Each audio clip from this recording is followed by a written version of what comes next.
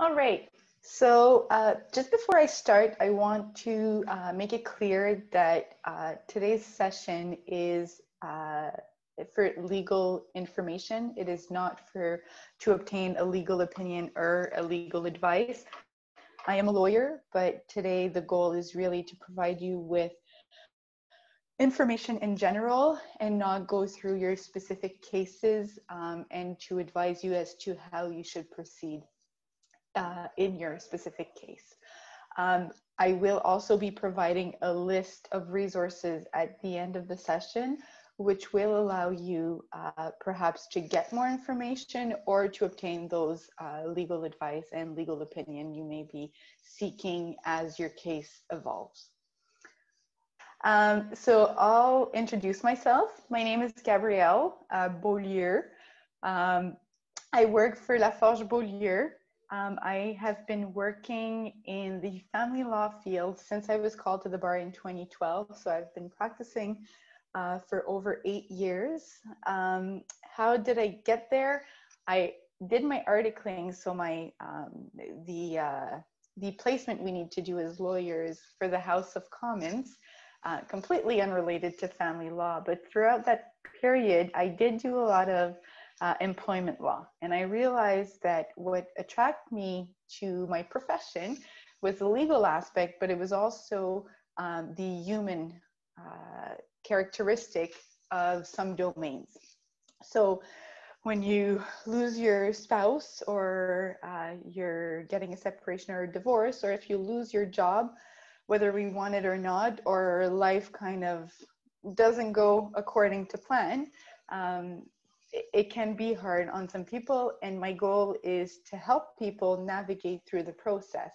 Hence why I accepted to give this uh, presentation today. The, the goal was really to provide information to help you guys navigate through the legal process, understanding the actors and who uh, who will interact with you through the court process, what are the different steps of the court process, what you should or should not be doing uh, when going to court. I became a lawyer partly because I, I thought everything should be fair and everything should be just. And as a lawyer, don't tell anyone else, um, but I often realize that if you're representing yourself, sometimes you get penalized, I'll say, in the sense um, for not having done things in accordance with the rules. And is that necessarily fair or just? Well, there needs to be a process, but my goal today is to try to help you again uh, work through the process and put your best case forward when you are representing yourselves. As I was saying earlier this morning, uh, in Toronto in the past few years, they have noticed a significant increase in the amount of people that represented themselves in family uh, law court. They were up to 90%. The main reason was because people could not afford a lawyer. Um, so lawyers, uh, there, sorry, there's been quite uh, an influx in lawyers trying to provide limited scope retainers where they can provide uh, services, but on a need base and sessions like this to help people, again, navigate through the system. So this session is offered by uh, l'AJEFO, which is the uh, French Ontarian Association of uh, Lawyers. And it's also, uh, it, it, has also been funded by the Ottawa Community Foundation. Now you may be from outside of Ottawa, this being said, uh, we do thank them for the, their uh, assistance in this session. Um, we'll start with the judicial roles. So who are the actors that will be part of your court process? Well, the most important usually uh, is the judge. The judge is the person who's going to act like an arbitrator and he's going to be responsible, he or she will be responsible for making decisions that are completely independent and impartial. They will base their decision on the arguments that you submit, the evidence that you submit, by they, they will base themselves uh, on the law that is currently in place and they may all, not they may they'll base themselves on other canadian uh, decisions that have uh, arisen in the past. Um, the um, there's the judge, and then there's the master. A master is very similar to a judge. Um, they are not in every jurisdiction. They are in the major centers, I'll say, and they uh, are there to, just like a judge, also make some decisions. Um, they have a limited, limited scope as to what they can or cannot make decisions on. Um, like they cannot make uh, criminal decisions. And they will often uh, be seen in family law at case conferences, sometimes at settlement conferences. I have yet to see a master hear a motion. How do we distinguish them?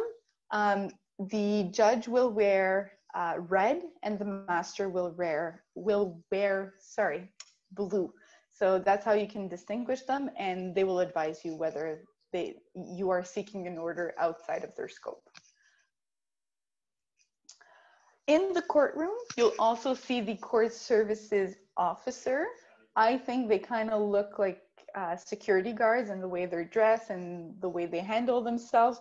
Their role, their primary uh, role, is to assist the presiding judge. So they'll go get the judge when everyone's ready. They may escort them out when everything's done. They will also uh, be the one calling out names in the courtroom to see whether they are present.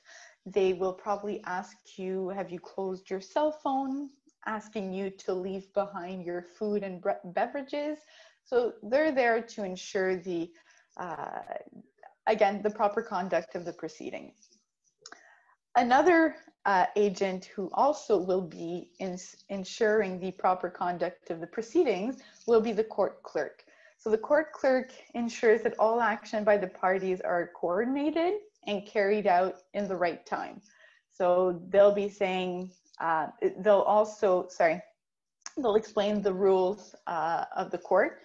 They are usually the people who say, oh oh yay, this uh, audience is resumed, or something along those lines. Um, they will also make sure that you're turning off your phone, that there's no food, beverages. Um, they will pass any documents you may want to submit to the court when you are actually sitting in the courtroom. Um, and the same goes if the judge is, the judge, sorry, wants to pass you in any information, he will also go through the court clerk to do so. The court clerk is also responsible to ask witnesses to promise to tell the truth, whether it's on a uh, religious uh, document or whether it's just uh, swearing uh, in. Um, there's also going to be the court reporter. The court reporter is simply there to uh, transcribe into writing everything that was said and done during the hearing. And while court appearances right now may be over the phone or Zoom, court reporters are still present, hence uh, why we need to be very clear when we speak. And if the court reporter asks us to repeat, we shall repeat ourselves to make sure that the transcript is going to be uh, properly made. And then there's us, so you guys and myself. Um, so as a lawyer, I'm there to represent my client, my client's interests. I will address the court on behalf of my client, and I will also uh, perhaps negotiate with the other party, whether they're represented or not. Um, any uh, actions that I make in a case are based on the instructions of my client. Um, so it's not rare that if I'm present in court, that I will be the one speaking on behalf of my client and not my client himself. Um, now, if you're representing yourself and uh, the individuals I may be representing, uh, are called the applicant and the respondent. So the applicant is the person who starts the family law case. He is the one who, who decides, okay, I want to go forward, I want to make my claims, I want the judge to make decisions, and then submits the application itself, which is then served on the other party. And the other party is called the respondent.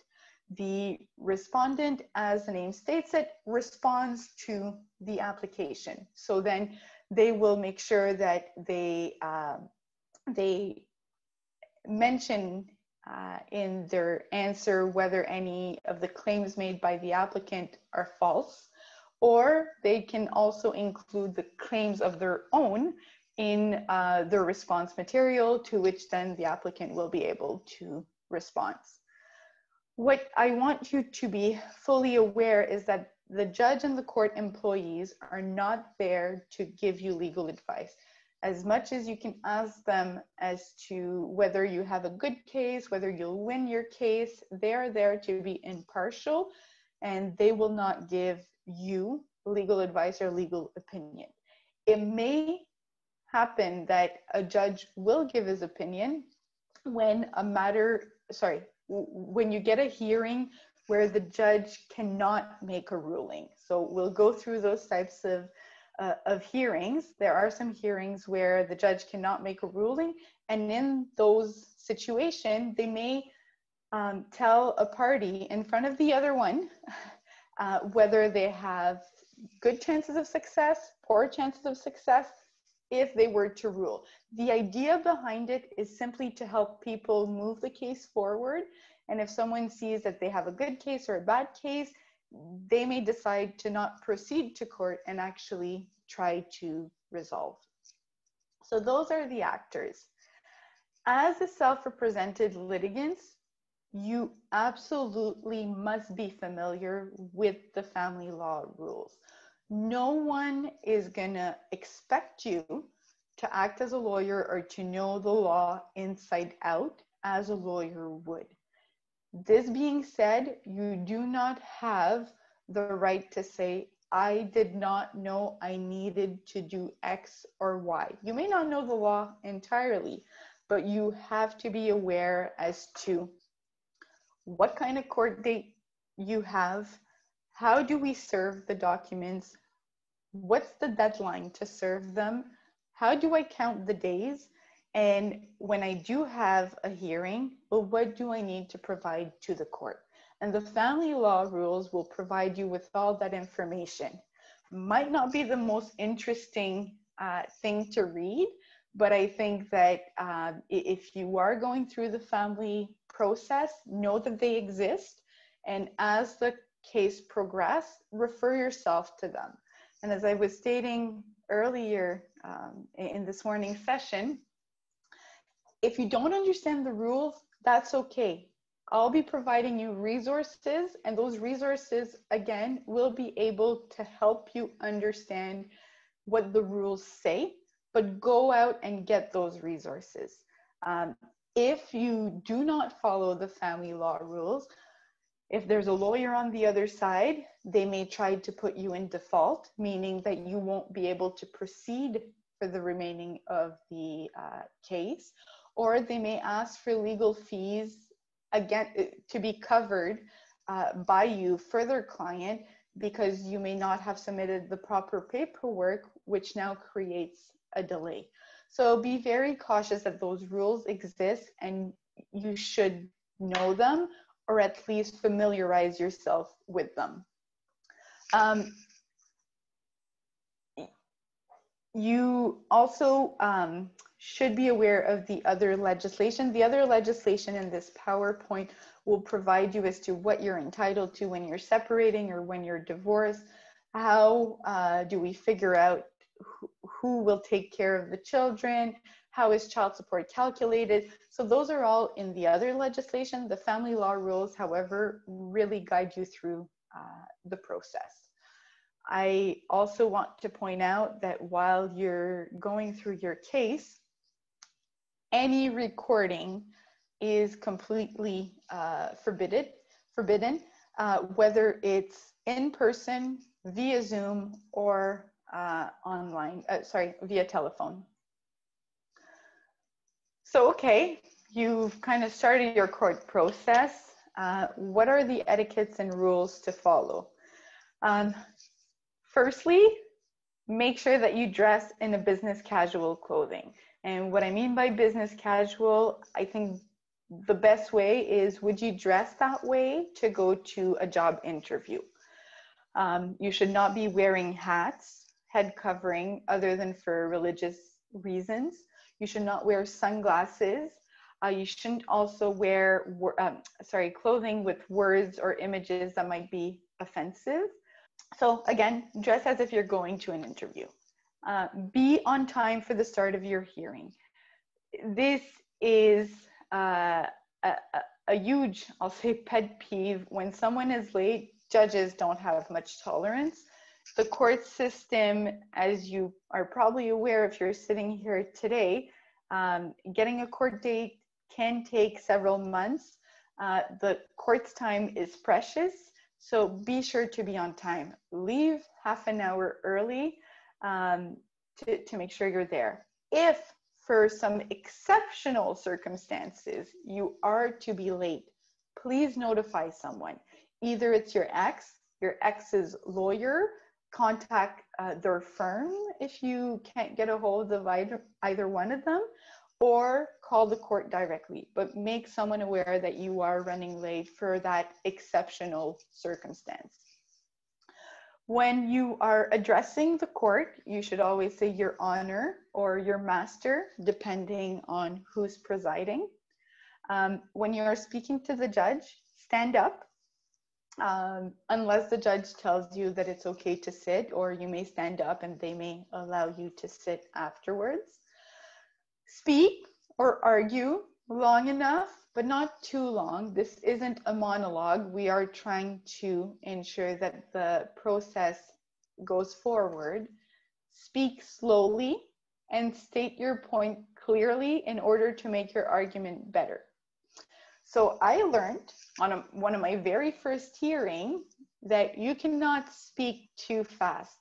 I, um, I, I had decided that I was going to read from a case law, so a previous case, uh, a paragraph to the court. And right, you're reading, I looked down and I started reading extremely fast. And then I looked up, having finished my paragraph, and the judge looked at me and he said, Ms. Beaulieu, haven't you noticed I've stopped writing? You speak, you, you went way too quickly slow down and start over. Obviously, I learned my lesson very quickly. I did not want to start over, and I simply paraphrased what I had read. Um, but all this to say is that when you speak slowly, you do allow the judge to take notes, and notes are usually good.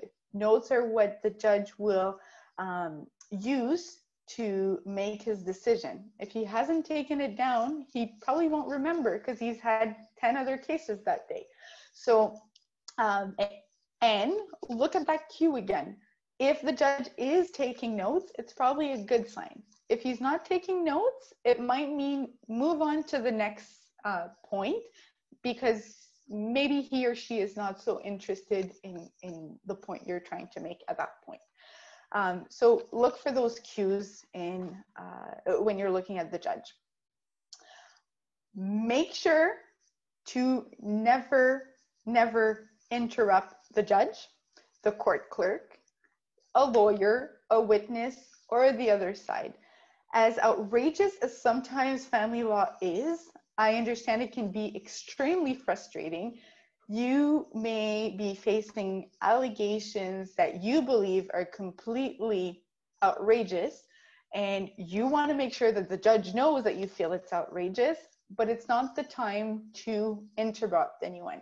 You will have an opportunity to speak and if the judge doesn't specifically ask you to speak perhaps when there is some silence you can ask the court can i address can i respond to what was said because i don't agree and then at that point, you'll be able to respond. But do not interrupt. You will get big eyes. you will be frowned upon by um, everyone in the courtroom if you start interrupting. Um, it's normal to be nervous. I think most lawyers are also nervous when going to court. It's okay to admit it.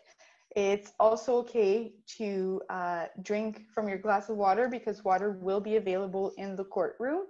And it's okay if you have notes and then everything's going in your head 100 miles per hour. You've just learned a bunch of things.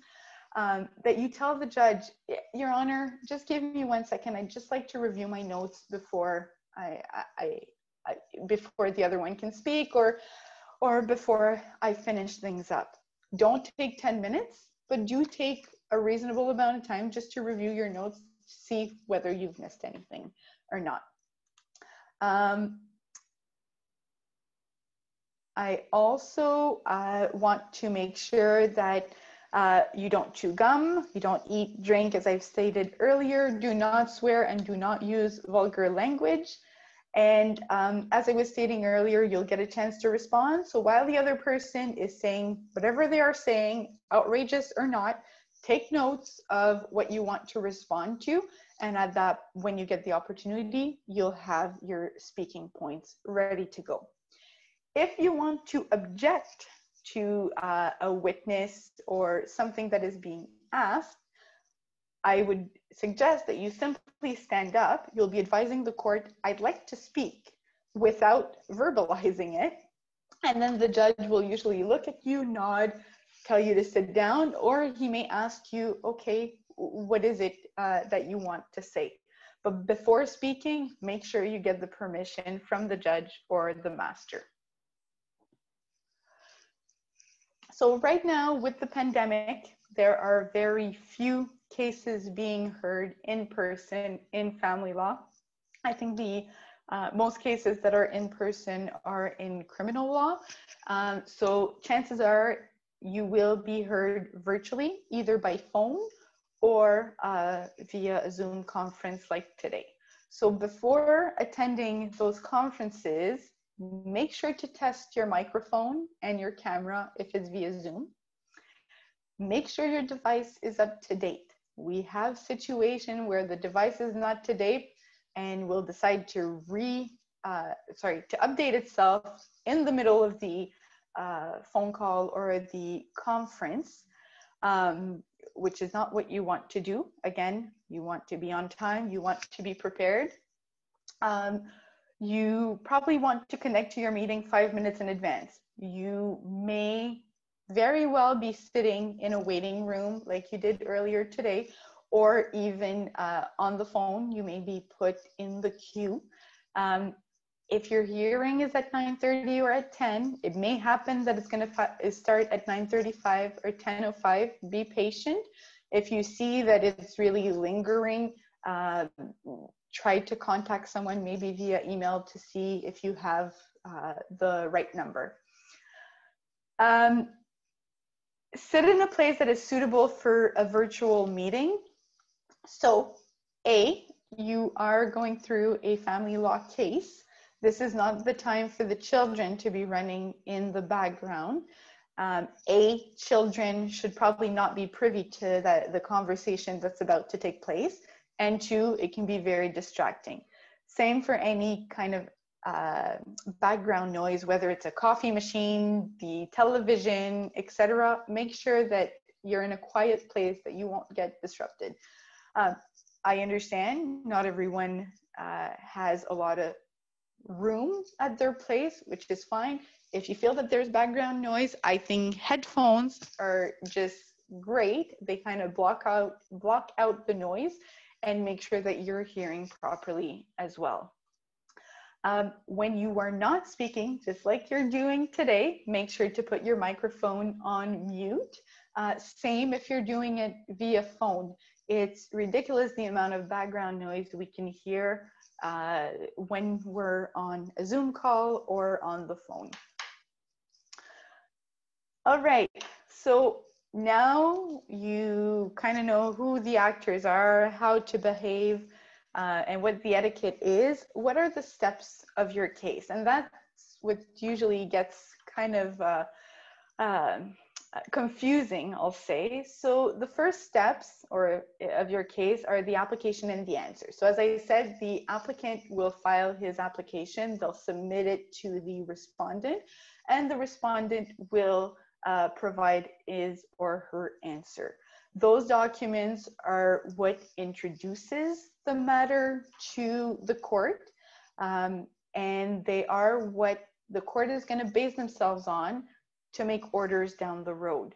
I like to say that my application and my answer do not include all the details of your case, but they are the skeleton. So let's say you are claiming that someone has been abusive, or that, yeah, let's take the example of someone has been abusive. Well, don't start enumerating the 15 incidents that took place that states that there is abuse. States state that there has been abuse, your greatest example, I'll say, or the most outrageous one, and include that in your application.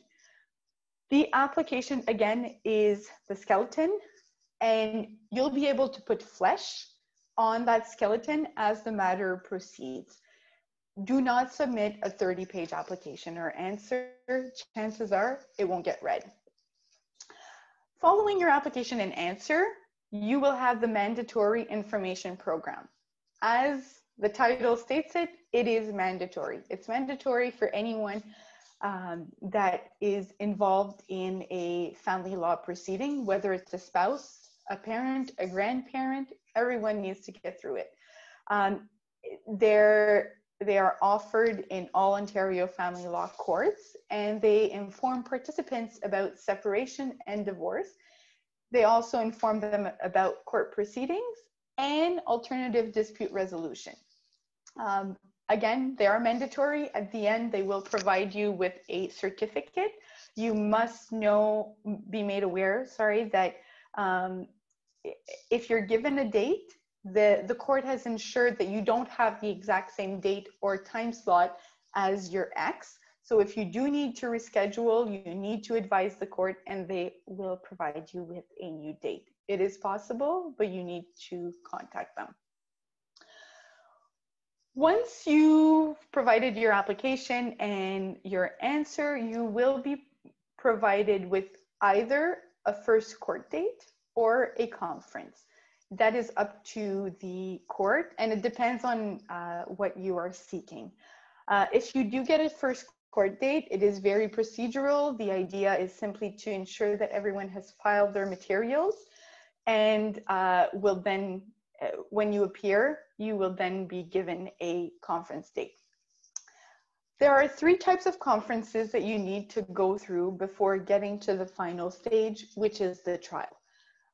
Conferences are uh, in place to try to ensure that the, the case moves forward adequately. And it's also to give chances to the parties to resolve all issues or some issues. What you must uh, note is that during conferences, a judge cannot make an order unless it's on consent of both parties, with some few exceptions. But for the majority of the time, um, unless both parties agree, the judge does not have the authority to do so even if it's completely urgent, even if you do a backflip in front of the judge, they just don't have that authority. Um, they do have the authority to make uh, orders on financial disclosure. Some judges will also um, make orders on child support, whether it's on consent or not. And I say child support, not spousal support. So those uh, conferences, the very first one is going to be the case conference. At the case conference, uh, the judge will make sure uh, has all the evidence that we need been provided. Otherwise, what are the evidence that either party is seeking to move forward in the case? They, they may as well give their opinion as to the likelihood of success of either party's position and see if there's any chance for resolution. After the case conference, you'll need to go through a settlement conference. At settlement conference, the judge will usually be a bit more um, firm in trying to find resolution to really give the parties a sense as to the likelihood of success or not of each claims being made. Um, and then once you've gone through the settlement conference, you'll also get a trial management conference where the judge may again try to see whether there's any chance of resolution. But the goal is really to manage uh, the trial. So to manage the, the trial, we are looking at who's going to be the witnesses, if there's evidence that still needs to be provided, when will it be provided by, do we need interpreters, how long do we believe the trial is going to last? Is anything going to be submitted in writing? Are there going to be experts? So all of that needs to be prepared in advance of the trial management conference to be scheduled for trial. Unless that has taken place, there's no trial that are going to be set. Um, in between the case conference and the settlement conference, because you've started your application and now you're saying, well, when am I ever going to get an order? you are entitled to bring what we call motions. I remember sitting in procedural law class and I was like, what is a motion? What does it eat? I, I it took me a while to understand. Motions are in place. Uh, they are hearings where a judge can make an order, but only a temporary order. So if you're seeking a temporary relief, then uh, you are entitled to bring a motion. What are temporary reliefs? It might be you want more access with your children. That could be one. If there's really important decisions that need immediate attentions to be made for the children, it might be some child support or spousal support it might be asking for the sale of the home because neither one of you can continue to afford it and you just can't stay in the home. Um, so those are temporary reliefs. It might also be, I absolutely need this disclosure and they are uh, failing to provide it. You can also bring a motion at that point. Um, those can only be heard in between the case conference and the settlement conference. Once the settlement conference has been heard, unless you get authorization from the court, you cannot bring any further motion. So after all of this, after the trial management conference, you then are uh, able to proceed to trial. In family law cases, only 3% of cases actually get to trial. Most cases were able to resolve through the conferences or through negotiation outside of court. Um, this being said, the trial is really the final step in the judicial proceeding. Uh, and at that point, a judge will hear all the evidence and render a decision on all the issues that have not yet been resolved. The trial is really what you see uh, on television, where there's someone on the stand being asked questions, um, and, and then the judge takes his or her decision. There is no jury in uh, family law. It is solely a judge that will be hearing your matter. So how do I prepare uh, for a hearing? Any type of hearing, whether it's a conference or a motion, the two first steps are A, to speak with the opposing party and identify the issues that must be resolved and make sure that you understand the other party's uh, position. Um, if you don't understand their position, sometimes it's a miscommunication and people may be very close to a resolution. Uh, make sure to review and familiarize yourself with the evidence, so whatever you'll be presenting, and what the other person has submitted as well. Prepare the materials to be submitted to court. How do we find out what materials need to be submitted? You go back to those family law rules. So when you have a conference, you'll probably have a brief to submit. If you're going to a motion, you'll need to provide a notice of motion and an affidavit. And it is key to understand um, that if you're going to a motion, all the evidence that you want to put forward absolutely need to be in your affidavit, your sworn statement. Otherwise, you cannot plead it, and the judge cannot base himself or herself on anything that you may just decide to verbalize the day of. Um, and then finally, prepare your oral arguments and submissions as to what you're going to be telling the judge uh, specifically. Now, um, when you are presenting your oral submissions, make sure that you have your notes.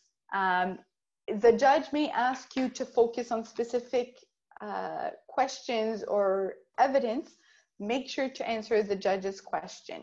If you don't know the answer, say that you don't know the answer. Don't start inventing uh, any response.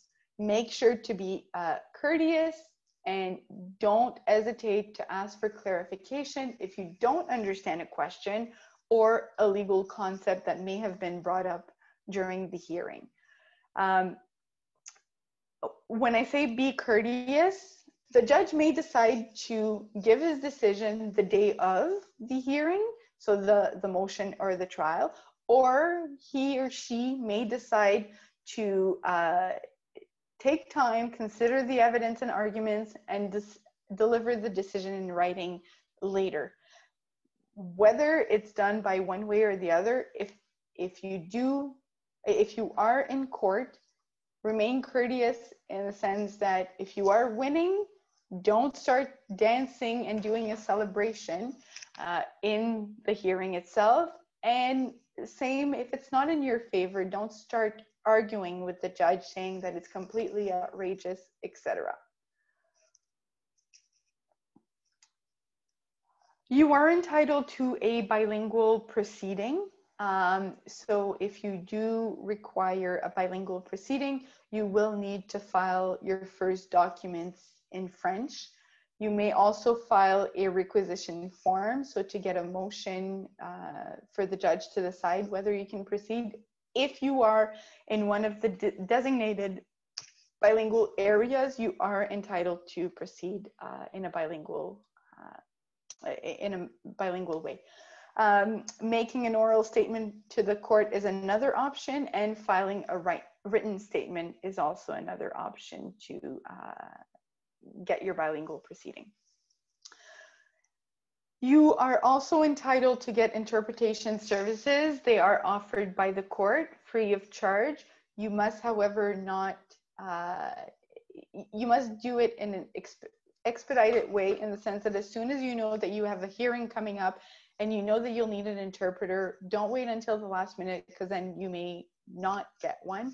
But if you take yourself in advance, um, the courthouse will be able to provide you the phone number, the contact information of the interpretation services they use.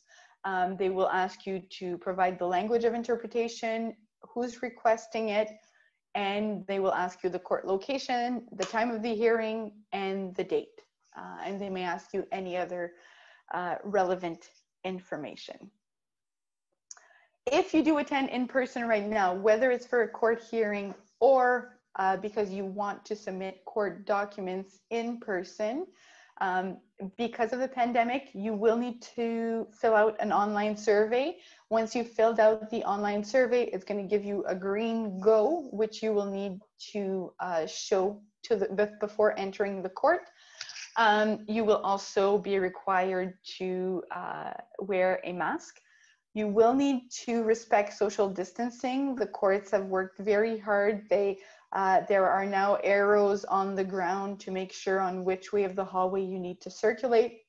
There are X's on the chairs if you cannot uh, be sitting on those chairs. There is also um, uh, indication as to how many people can be in the room or in the elevators. Uh, so just be respectful of those.